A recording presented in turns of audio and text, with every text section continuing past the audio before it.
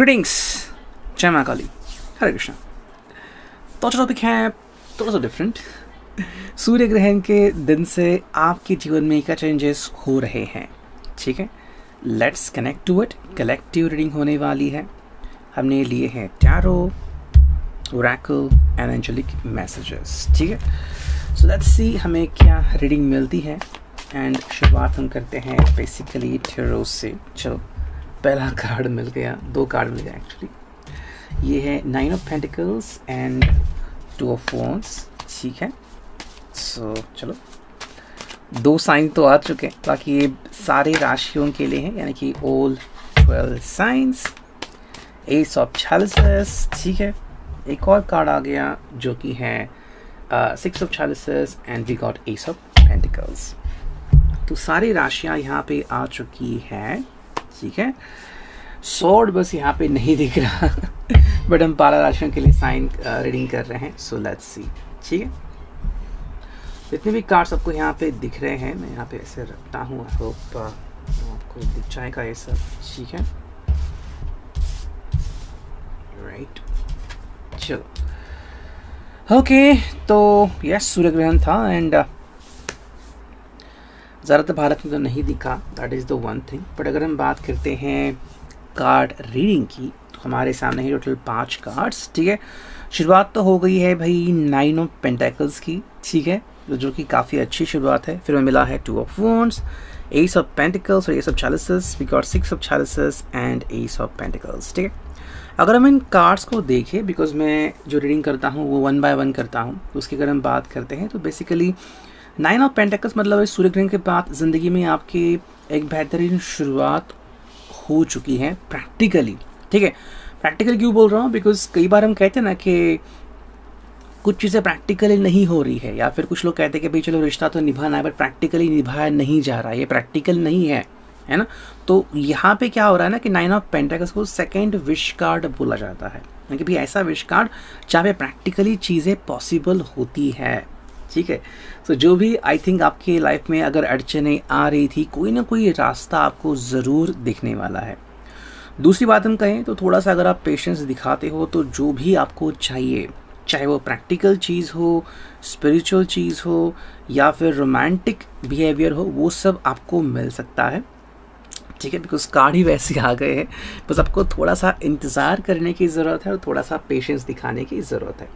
Second अगर हम देखें तो है टू ऑफ़ फोन्स तो यहाँ पे फोकसिंग की बात की जाती है। अगर आपका यही फोकस था कि मेरे ज़िंदगी में मुझे कुछ चाहिए, क्या चाहिए? चाहे वो प्यार है, चाहे आपने कोई लक्ष्य तय किया है कि मुझे यू नो इस कंपनी में ज्वाइन करना है, या फिर मुझे पढ़ाई करनी है, या फिर मुझे अपना रिश्ता, या फिर मुझे शादी इस तरह से करनी है तो हाँ ये सब मुमकिन हो सकता है।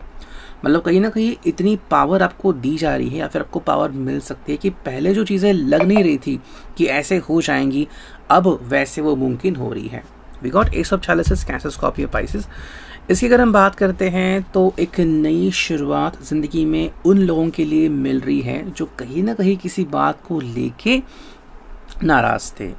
शायद आप स्पिरिचुअली नाराज़ थे कि मेरी स्पिरिचुअल ग्रोथ क्यों नहीं हो रही है? या फिर आप रिलेशनशिप में नाराज़ थे कि भी वो मुझसे ऐसे क्यों बिहेव कर रहे हैं? तो ये जो भी आपके जज्बात थे, वो कहीं ना कहीं अब सामने आ रहे हैं और आपको सोल्यूशन मिल रहा है। ठीक है? तो जिस भी पर्सन से या फिर जहाँ से भी आपको दिक्कतें आ रही थी, वो दिक्कतें ख़त्म होने जा रही हैं, जो कि एक अच्छी बात है। और एक नया रिश्ता या फिर नई बेहतरीन शुरुआत होने जा रही है। हाँ ये भी हो सकता है कि आपके ज़िंदगी में ऐसे बहुत अच्छे लोग आ जाएँ जो आगे चल के आपके लिए काफ़ी इम्पोर्टेंट बन सकते हैं। वही अगर हमने देखा तो ऐसे सब छालिस कैसिस पाइसिस तो यस यहाँ पे हमें एक्सटेंडेड सपोर्ट भी दिखता है। तो अगर आप ऑलरेडी किसी रिश्ते में हो या फिर आपकी शादी हो चुकी है एंड अब बात आती है एक दूसरे के को सपोर्ट करने की तो हाँ आप वो भी कर सकते हो या फिर इनफैक्ट वो करने के चांसेस काफ़ी हद तक सिक्सटी टू एटी परसेंट बढ़ जाते हैं। क्यों इंपॉर्टेंट है? बिकॉज़ कई बार हम बस सोचते रहते हैं कि मेरा रिश्ता कब सही होगा या फिर मेरे ज़िंदगी में चीज़ें कब सही हो जाएँगी। तो एक ऐसा समय आ चुका है जहाँ पे आप एक दूसरे को सपोर्ट दे सकते हो। ठीक है? तो एक अच्छी बात है। फाइनल जो कार्ड मिला है वो है एस ऑफ़ पेंटिकल्स ये कार्ड बेसिकली है स्थिरता के लिए। यू नो चाहे आप फाइनेंशियल बातें करें या फिर आप फ्रेंडशिप की बातें करें, आप सोशल बातें करें कि भाई कब मेरी ज़िंदगी में स्थिरता आएगी? तो हाँ स्थिरता अब आ रही है। तो आई थिंक सूर्य ग्रहण के बाद जो भी चीज़ें हमें दिखी हैं, सारी की सारी पॉजिटिव ही दिख रही है, ठीक है? बस आपको एक चीज़ करनी होगी पेशेंस तो डेफिनेटली रखना ही होगा, ठीक है? That is the one thing अब देखते हैं हमें इस ओरेकल से और क्या रीडिंग मिलती है। लेट्स सी अनफेथफुल ठीक है?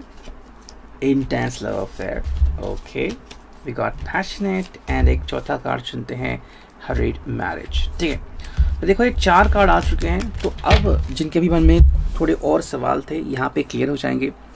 फ़र्स्ट थिंग इज़ अनफेथफुल मतलब अगर ऐसा कोई व्यक्ति है जिसके जिसके ऊपर आप विश्वास तो नहीं कर सकते बट आप उस व्यक्ति से दूर भी नहीं जा सकते। मतलब मान लो आप उस व्यक्ति से बंद से गए हो चाहे आपके कहीं आप अपने मन से हो या फिर यू you नो know, आपके विचारों से हो तो ऐसे में फिर आपको ये जज करना होगा कि क्या सच में मुझे इस पर्सन के लिए वेट करने की ज़रूरत है। है ना? बिकॉज़ देखो चॉइस आपकी है, बाकी रास्ते तो यहाँ पे निकल ही रहे हैं। सेकंड जो है वह इंटेंस लव है। क्यों ऐसा हो रहा है? बिकॉज़ मे बी आप बहुत ही ज़्यादा प्यार में डूब गए हो। और अगर ऐसी बात है तो इस प्यार से बाहर आना शायद आपके लिए उतना भी ईजी नहीं है। बिकॉज़ आप यहाँ पे पैशनेट भी हो, लेकिन हाँ एक चीज़ यहाँ पे हो सकती है, हरेड मैरिज ठीक है? सो आई थिंक एक सोल्यूशन जो यहाँ पे मिलता है कि अगर कोई ऐसा पर्सन है, जो कि अनफेथफुल है उसके साथ या तो आपकी हरेड मैरिज या फिर उस पर्सन की खुद की कहीं और एक हरेड मैरिज हो सकती है ताकि जो इश्यूज़ हैं वो सॉर्ट आउट हो जाए। ठीक है? फ़िलहाल तो यही हमें यहाँ पे रास्ते दिख रहे हैं जो दिख रहे हैं वही मैं मैं वही बता रहा हूँ। नेक्स्ट यहाँ पे आ गया है कार्ड वो है वेट तो यस एंजल्स भी आपको वेट का साइन दे रहे हैं। सेकंड जो साइन आ गया है वो है फर्क्यूनेस एंड नेक्स्ट कार्ड आ गया है यहाँ पे वो है लेट गो ठीक है? अब ये बातें यहाँ पे क्यों आ चुकी हैं? कई बार क्या होता है कि हम किसी व्यक्ति को लेके परेशान रहते हैं। और जैसे मैंने कहा, टैरो को लेके कि भाई, आपको पेशेंस दिखाने की ज़रूरत है, यानी कि थोड़ा सा सब्र दिखाइए, ठीक है? अगर आपने सब्र नहीं दिखाया तो फिर आपको वो नहीं मिलेगा जो आपको मिलना चाहिए।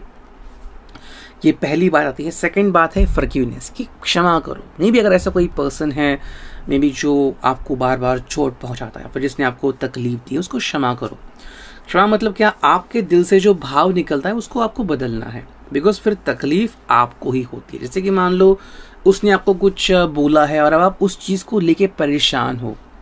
आपका बीपी हाई हो रहा है, आपको नींद नहीं आ रही है यू नो आपका सिर दर्द हो रहा है, ये सारे लक्षण आपके उस पर्सन के नहीं हैं। जो थर्ड कार्ड यहाँ पे आ चुका है, वो है लेट गो अब ये आपको बहुत ही नेगेटिव लग सकता है कि क्या ये एंजल्स ने कहा है? नेगेटिव नहीं है. ये एक्चुअली क्या है कि आगे बढ़ने की एक स्टेप है. ठीक है? ये तो यू हो गया कि मान लो आपको आ, किसी से प्यार करना है लेकिन प्यार करने से पहले अगर किसी के बारे में नफरत है दिल में तो पहले वो निकालनी होगी है ना? अगर दिल खाली होगा तो ही वो किसी चीज़ से भर जाएगा या तो प्यार से या तो नफरत से। यही बात यहाँ पे हमें दिख रही है कि या तो आप थोड़ा सा वेट कीजिए एंड फिर डिसीज़न लीजिए कि क्या करने की ज़रूरत है। हरेड मैरिज यहाँ पे दिख रहा है ये चांसेस भी हो सकते हैं बट फिर आपको तय करना है कि आपको ज़िंदगी में क्या चाहिए। सेकेंड चीज़ मे बी अगर आपको और थोड़ा सा वेट करना है एंड यू नो प्रैक्टिकल अगर डिसीज़न लेना है तो आप थोड़ा सा और वेट कर सकते हो, रुक सकते हो, जो आपके लिए यहाँ पे डिसीज़न आ चुका है। हालाँकि ये जो कार्ड है लेट को यानी कि जो भी चीज़ें हैं, अगर किसी के बारे में मन में कुछ यू नो मलाल है, मन में कुछ नेगेटिविटी है तो उसको जाने दो। एंड चीज़ें जो हैं, वो बाद में अचानक से ऑटोमेटिकली सामान्य हो जाएँगी। So, यहाँ आज का रेडिंग आई होप इट डोजनेट